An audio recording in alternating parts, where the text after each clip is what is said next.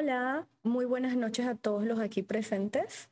Mi nombre es Ángela Medina y soy médico psiquiatra y neuropsiquiatra y la noche de hoy tengo el placer de hablarles acerca de la demencia vascular. Este tema es patrocinado por los amigos de Asofarma.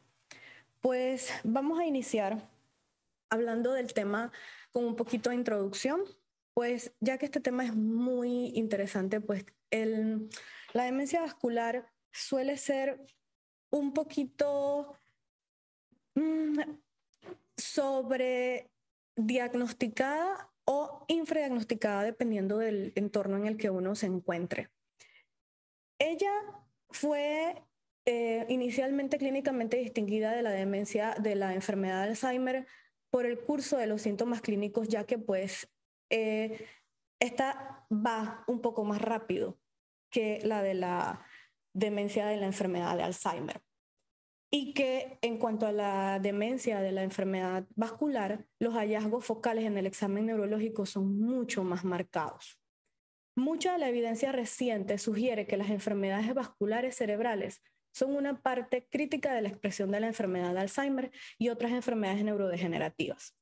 Ahora, a manera de historia, y que esto es una parte muy importante y que debemos saber, es que al inicio, por allá, por los años 1900, em, se pensaba que la arteriosclerosis era la causa principal de la demencia y los médicos atribuyeron la demencia al endurecimiento de las arterias. Posteriormente, esto se mantuvo por muchísimo tiempo y no fue hasta los años, hasta la década de los 70, cuando la demencia vascular se convirtió en un sinónimo de demencia multiinfarto. Y este término fue acuñado por Helsinki y sus colegas, quienes enfatizaron en que estos síntomas y signos eran producto de factores de riesgos vasculares. Más allá, por allá por los años 1900, se llamó, 1990, eh, perdón, entonces se acuñó el término de deterioro cognitivo vascular. Y entonces es que se empezó a ver a la enfermedad eh, vascular como una entidad en la que las personas podrían desarrollar un tipo de demencia. Y también se vio que junto con ella también podría verse relacionada con la enfermedad de Alzheimer.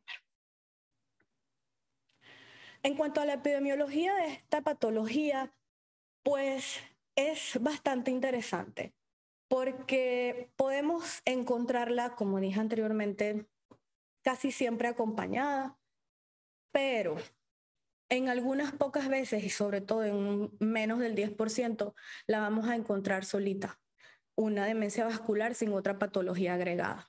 Por allí entre un 50 y un 70% la vamos a encontrar junto con una patología neurodegenerativa, ya sea la enfermedad de Alzheimer o la enfermedad por cuerpos de Lewy. En cuanto a la sobrevida de esta enfermedad, se cree que puede tener un diagnóstico, una, una sobrevida posterior al diagnóstico entre 3 a 5 años y otros autores hablan de 5 a 7. En cuanto a que si la persona tiene un stroke, este aumenta el riesgo de demencia entre 3 a 6 veces más y se sabe que un 15 a un 30% de los pacientes que desarrollan esto pueden presentar un deterioro cognitivo tres meses posteriores al evento vascular. Entonces, ¿cuáles son los factores de riesgo más importantes que puede presentar una persona que tiene eh, una enfermedad vascular o que los puede presentar. Primero tenemos que tener en cuenta que hay factores de riesgo modificables y no modificables. Los factores de riesgo modificables son solamente tres. Eh, digo, no modificables son solamente tres. La edad, las mujeres y la clase social baja. Aunque hay estudios recientes en donde indican pues que tener la clase social baja como que no es tan importante. Sin embargo, debido al tipo de alimentación que estas personas puedan llevar, pues sí puede ser un poco importante. En cuanto a los no modificables, pues tenemos la educación, las enfermedades crónicas, eh, la diabetes, los infartos, la fibrilación, eh, eh, las isquemias cardíacas, el stroke, la hipercolesterolemia, la depresión, el sobrepeso. Y en cuanto a los estilos de vida, podemos tener el fumar, y cuando las personas no hacen una cantidad de ejercicio adecuada. A ver, ahora hablemos un poquito de la patofisiología de nuestra enfermedad. ¿Qué pasa cuando nosotros podemos ver si la persona puede desarrollar un deterioro cognitivo vascular? Hay factores predictivos del deterioro cognitivo vascular y esto sería que la persona presente grandes infartos, infartos lacunares o infartos subcorticales. Los microinfartos, ¿qué, ¿qué pasa? Estos microinfartos se pueden encontrar en aproximadamente un 20 a un 40% de adultos mayores de 80 años. Y ya si nos vamos hacia adultos mayores de 90 años, los podemos encontrar hasta en un 50 o 60% la pérdida de mielina, la arteriolosclerosis, la angiopatía amiloidea cerebral, la dilatación del espacio periventricular y los micro o macroinfartos se pueden encontrar entre un 50, eh, mayor de 50% en los adultos mayores de 90 años. Generalmente uno asociaba la demencia vascular a personas solamente mayores. Por allá cuando las personas tenían más de 70, 80 años. Sin embargo, en los últimos años hemos visto que este tipo de demencia se puede ver en personas más jóvenes y se sabe que esto puede ser por el estilo de vida o los factores de riesgo, ya sea como los que mencioné anteriormente, los modificables como las enfermedades crónicas. Ahora, vamos a hablar un poquito de los cambios vasculares que podemos encontrar en las en, los, en el cerebro cuando tenemos este tipo de enfermedad. Primero vamos a encontrar los infartos. Los infartos pueden ser macroinfartos o microinfartos y esto va a depender del tamaño del infarto. También puede haber arteriolosclerosis, arteriosclerosis y la angiopatía amiloidea cerebral. Ahora, ¿qué pasa? Se hicieron estudios, eh, un consenso para verificar cómo uno puede ver cómo se hace y cómo vamos a calcular la cognición de estas personas y la vamos a clasificar. Primero, vamos a tener el deterioro cognitivo vascular. Esta es la contribución de la, de la patología vascular en cualquier grado de severidad del deterioro.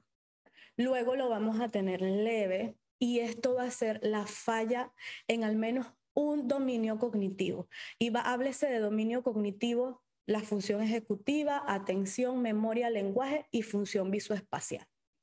Y el deterioro cognitivo vascular ya de demencia, que cuando el déficit es clínicamente significativo en por lo menos un dominio cognitivo con difusión severa en las actividades básicas e instrumentales de la vida diaria. Muchas veces eh, la persona no es la que se da cuenta de esto, sino sus familiares. Y empiezan a contarnos como que se le empiezan a olvidar las cosas, ya no presta atención, habla diferente, ya no hace, ya no se puede colocar la ropa de la misma manera, todas las cosas como que empiezan a cambiar, la persona realmente cambia su forma de ser. Entonces, la persona realmente a veces como que no se da cuenta y empieza a colocarse, a ser un poquito más agresivo. Ahora, ¿qué nos toca a nosotros como médicos? Es cuando nosotros empezamos como a subcategorizar lo que vamos a hacer. Y es esto lo que nos corresponde. Vamos a hacerlo de esta manera. Vamos a colocarlo así.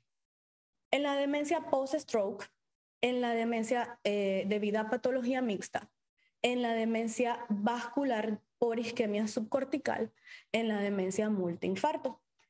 Eso sí, si la persona tiene un abuso o dependencia de drogas de más o menos uno, o alcohol de más o menos unos tres meses, pues definitivamente el diagnóstico cambia y ya no se le coloca solamente el diagnóstico de una demencia de tipo vascular. Ahora, se sabía que para poder colocar esto uno debería poder hacer estudios de imagen. ¿Cómo nosotros vamos a ver esto? Primero vamos a buscar los cambios en las, en, en, las, en las imágenes. Vamos a ver. Las demencias multiinfarto, que son las demencias corticales, vamos a ver la de vasos, los de infartos estratégicos, la hipoperfusión, la hemorrágica, la hereditaria y la que es con Alzheimer y vascular. Y esto lo debemos llamar de esta manera, como que generalmente ya no podemos, ya no deberíamos llamarla mixta, sino colocarlas separadas. Demencia por Alzheimer y demencia vascular, ya que son entidades que se desarrollan y son de diferentes maneras, porque forman diferentes cambios a nivel cerebral.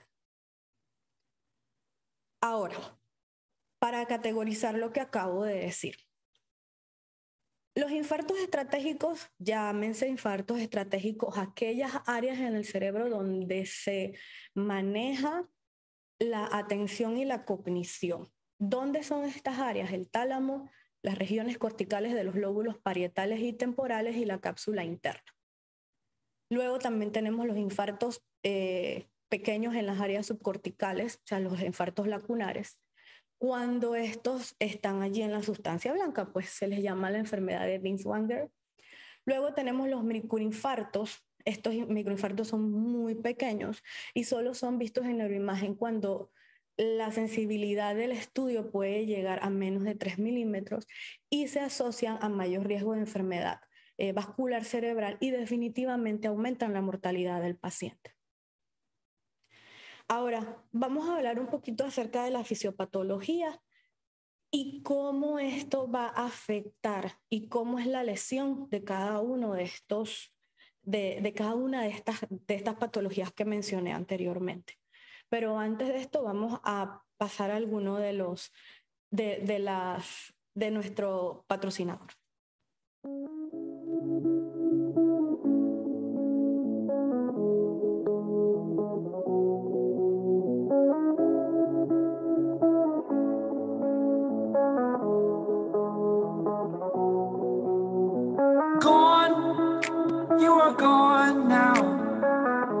to think of an easy way to start. It's over. Give me what I want. Think of what you did today, how it's gonna be. I've got a bunch of real good reasons that I'm needing you to see. I can't keep holding this feeling of all that you've forgotten is us.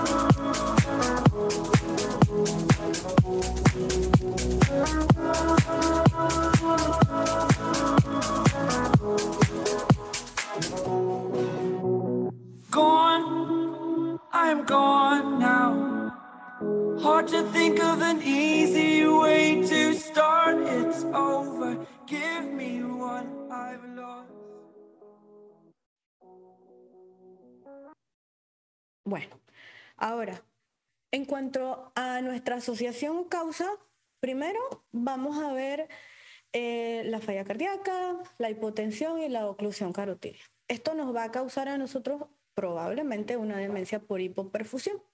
Y lo que nos puede causar a nosotros son lesiones por necrosis laminar, cortical, los infartos en la sustancia blanca incompletos o los infartos de watershed. Ahora, si la persona nos va a presentar una tromboembolia, vamos a presentar, puede tener una condición de una demencia multiinfarto. Y allí entonces vamos a ver que la persona puede tener múltiples infartos extensos, infartos lacunares o microinfartos. Y aquí la cosa como que se nos pone un poquito más difícil. Ahora, si la persona tiene un riesgo eh, cerebrovascular y tras de eso pues nos puede también tener el cadacil, que es la que es hereditaria, puede presentar entonces lesiones en la sustancia blanca. Y luego acá el daño accional, axonal, la desmielinización y los microinfartos y los microsangrados son las lesiones que puede presentar. Ahora, si la persona la causa que tiene es la angiopatía, la enfermedad de Alzheimer, el cadacil o el riesgo cardiovascular. Lo que puede presentar pues son los microinfartos, las hemorragias.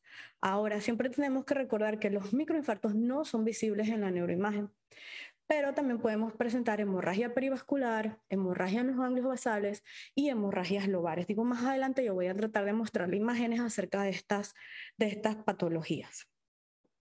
Ahora, si es hereditario, si es esporádico o, o presentamos Alzheimer, pues podemos presentar como condición angiopatía amiloidea. Y esta lesión que se nos puede dar pueden ser lesiones hemorrágicas, lesiones en la sustancia blanca, microinfartos, microsangrados. Si el SB es isquémico, pues definitivamente lo que vamos a encontrar es una demencia post-stroke y allí es donde vamos a ver los infartos silentes, las lesiones en la sustancia blanca, los infartos lacunares, la pérdida neuronal y la atrofia.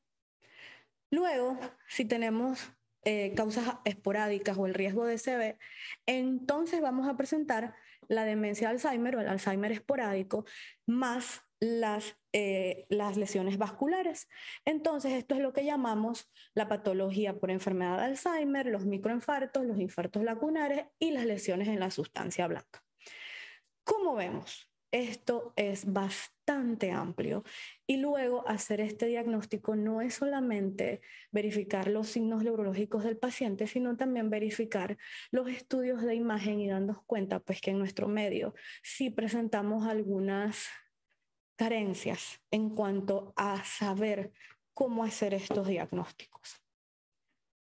Ahora, las lesiones más prevalentes en cuanto a esto son las lesiones en los pequeños vasos. Y definitivamente puede ser por las, eh, los riesgos cardiovasculares que presenta nuestra, la población en general. Recordando pues que muchos presentan obesidad, presentan mal estilo de vida y todo lo demás. Em, muchos podemos ver en, algunas, en algunos reportes de, lo, de, los, de las tomografías computadas lo que colocan como leucoarariosis. Esto es las alteraciones en la sustancia blanca. Y pues también tenemos los infartos lacunares, eh, que es lo mismo, pero pues lo van a presentar en diferentes tipos de neuroimagen. Ahora, ¿a qué nosotros llamamos microinfartos y microhemorragias. En los, microinfartos hay necrosis, cavitación e inflamación.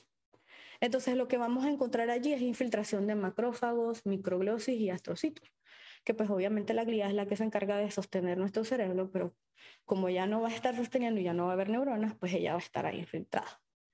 Las microhemorragias son restringidas por el espacio perivascular y no afecta el parénquima cerebral, y los microsangrados eh, corticales se asocian a angiopatía amiloidea cerebral.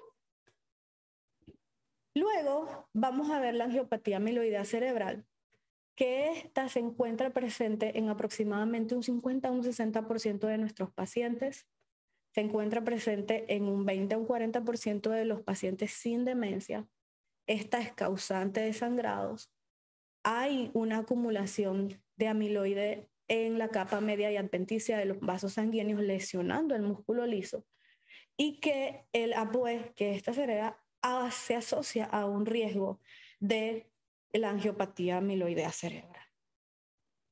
Ahora, en este cuadro lo que se trata es de ver cómo los mecanismos subyacentes hacen que se produzcan daños cerebrales a través de hipoxia, isquemia, una disrupción de la barrera hematoencefálica.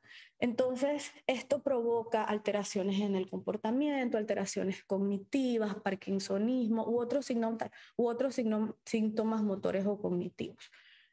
Todo esto provoca una reacción eh, en el cerebro que ya puede ser inmune, puede ser vascular, puede ser de estrés oxidativo y pues dependiendo de los niveles de, de factores de riesgo que tengamos, ya sean vasculares, genéticos o el estilo de vida, pues allí vamos a presentar ya sea el tipo, o sea, el nivel de enfermedad que vayamos a tener. En cuanto a la presentación clínica, pues va a depender muy bien del área cerebral en donde vamos a, donde se va a encontrar la lesión. Primero, las lesiones vasculares subcorticales siempre van a tener mucha más alteración en la atención, el procesamiento de información y la función ejecutiva. Pues definitivamente sabemos que las áreas subcorticales son las que manejan todas las vías de los circuitos que van hacia la corteza prefrontal. En general, y esto que quede muy claro porque luego es como que muchas personas se, se preguntan, bueno, ¿y qué hace una neuropsiquiatra como explicando más o menos de qué se trata la demencia vascular? Es que es mucho más frecuente la apatía y la depresión en estos pacientes.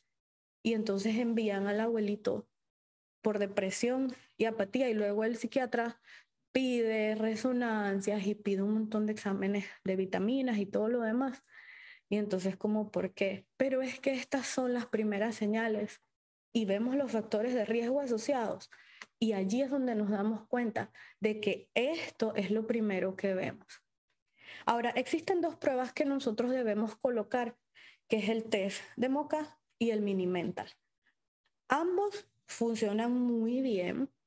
Eh, sin embargo, el MOCA es mm, más sensible, pero menos específico que el mini mental. Sin embargo, los dos funcionan bastante bien. Ahora, esto es más o menos como se ven. Aquí vemos en la primera una demencia multiinfarto. Aquí vemos en la segunda una demencia por infarto estratégico. De hecho, es bastante interesante cuando uno ve este tipo de demencias porque primero no son muy comunes y segundo la persona sí pierde muchísimas capacidades. Y la demencia vascular subcortical, allí vemos en el espacio, eh, en el espacio periventricular afectación de la sustancia blanca. A ver, ahora lo que nos interesa un poquito a nosotros como médicos son los criterios diagnósticos como para poder identificar a estos pacientes. Pues hay varias. Em, ya ven como que cada, cada asociación trata de tener criterios diagnósticos para ver cuál es el que funciona más de, acuerdo a los task force que hay. Primero, el American Heart Association y la American Stroke Association, ellos indican que un declive en la función cognitiva y la disfunción de al menos dos dominios cognitivos eh, con un déficit en las actividades de la vida diaria, debe, que estos deben ser independientes de secuelas motoras o sensoriales. Aquí, entonces ya vamos a tener esto. ¿Y por qué? Porque los pacientes deben tener definitivamente algún tipo de riesgo, ya sea vascular o cardíaco. Luego tenemos una probable demencia según esta, estas mismas asociaciones, va a ser una evidencia de deterioro cognitivo e imagen que muestre la presencia de enfermedad vascular cerebral. Y entonces aquí tenemos que ver el evento en el periodo de tiempo. Por ejemplo, hay un accidente vascular y la persona a los meses inició con los síntomas. Y esto presenta una relación totalmente clara con lo que está pasando y que antes no había un deterioro para nada de esto. Entonces eso es lo que nos hace pensar a nosotros que la persona es que está desarrollando un deterioro cognitivo vascular. Eh, ahora, la posible es que hay evidencia por imagen, pero no hay una relación clara entre ambas, no hay, no hay suficiente evidencia para el diagnóstico, o sea, no hay estudios de imágenes. Hay una fascia severa que impide la adecuada evaluación, pero hay evidencia de otra enfermedad neurodegenerativa por biomarcadores que aquí en Panamá pues no hay. Tenemos presencia de cáncer activo, tenemos historia de enfermedades psiquiátricas o enfermedades metabólicas. Esto es un resumen. Eh, pues aquí tenemos la de la Sociedad de Enfermedades Vasculares y Cognitivas y la del DCM. Eh, pues el DCM no pide eh, los estudios de neuroimágenes, las otras sí, pero todos al final piden una alteración en alguno de los dominios cognitivos. Ahora, ¿qué pasa? ¿Serán detectables las imágenes, serán detectables las alteraciones vasculares por todas las imágenes? Pues definitivamente no en todas, por lo menos los microinfartos no son detectables por la tomografía. Sin embargo, en la tomografía sí se pueden ver las atrofias y las lesiones vasculares un poquito más grandes. Los infartos grandes, los infartos lacunares, las lesiones en la sustancia blanca, eh, cuando hay espacios periventriculares. La atrofia global, vamos, eso sí lo podemos ver. pero el gol estándar para poder hacer el diagnóstico por imagen de una demencia vascular siempre va a ser la eh, resonancia magnética cerebral. Ahora, existen clasificaciones y en cuanto a estas clasificaciones, pues tenemos que PASECAS es una de las más utilizadas y al momento de mirar las resonancias, pues definitivamente yo sé pues que aquí no, no todos vamos a ver las resonancias como tal, pero siempre vamos a verificar los T1, los T2 y los FLAIR. Y en cuanto al T1, vamos a verificar si tiene atrofia, en el T2 verificar si hay eh, infartos lacunares y en el FLAIR pues verificar si hay angiopatías o otro tipo de infartos.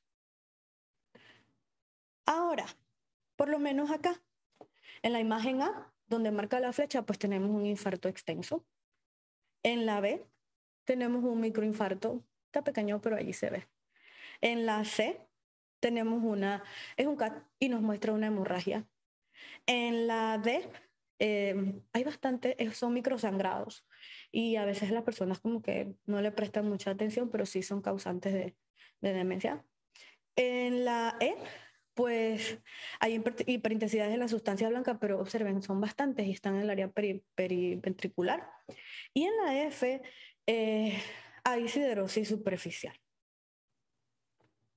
Ahora, aquí en la A, otra vez vemos lesiones vasculares extensas, o sea, muy extensas.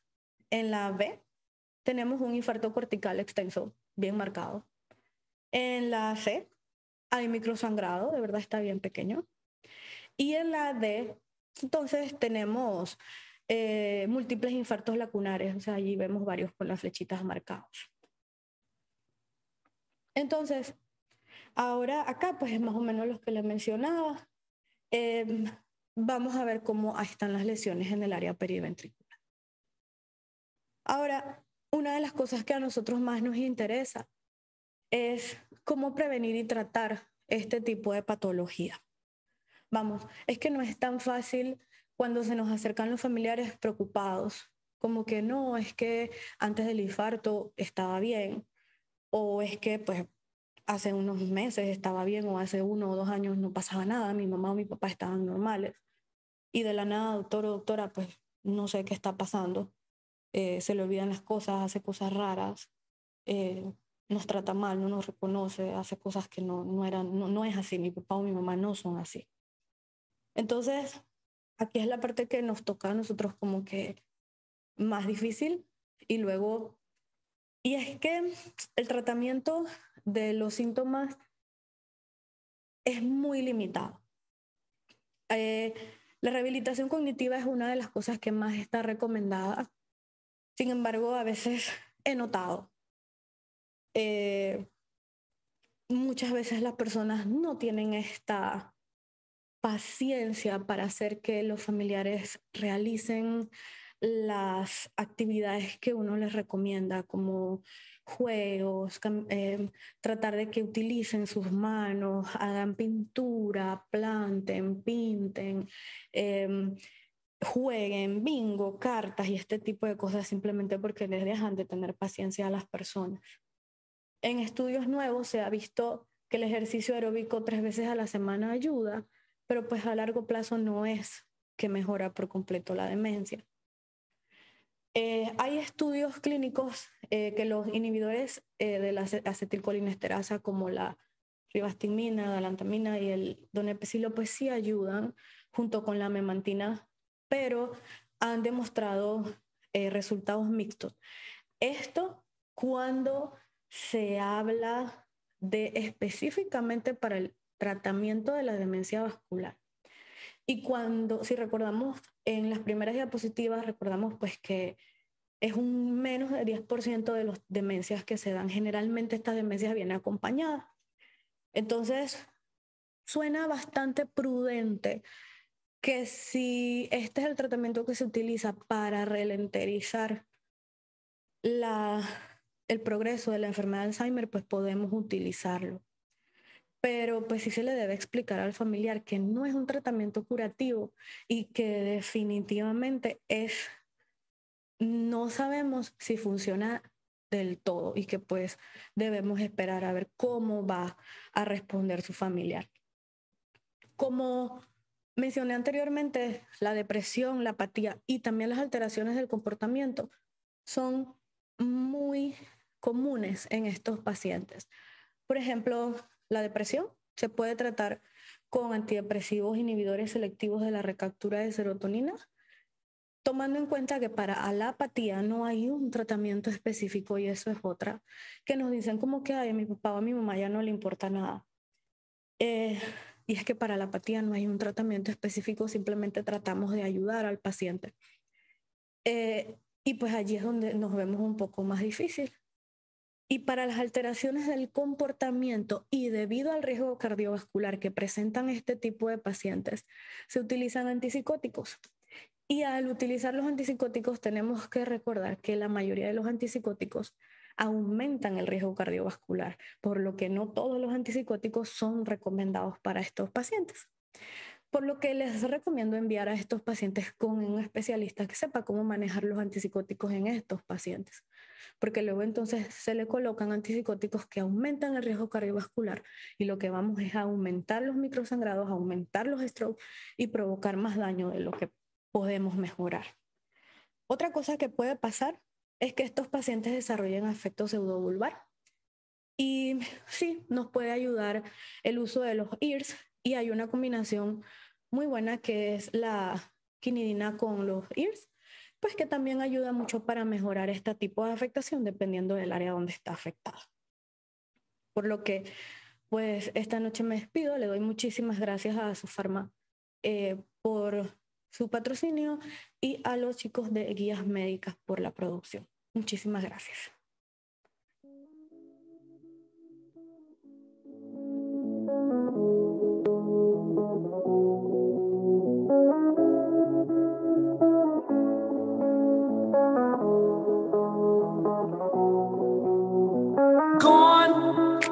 You are gone now. Hard to think of an easy way to start. It's over. Give me what I want. Think of what you did today, how it's gonna be. I've got a bunch of real good reasons that I'm needing you to see. I can't in this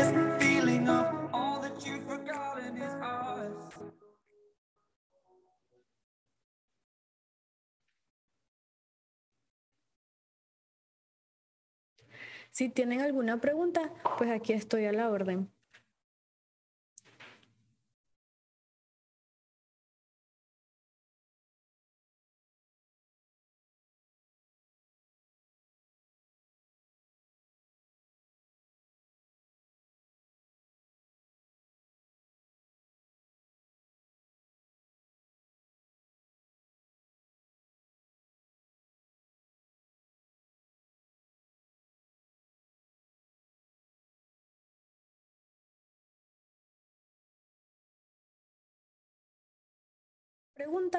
Le agradezco a los chicos de médicas, a los chicos de su farma. Síganos en las redes sociales y muchísimas gracias por su compañía esta noche.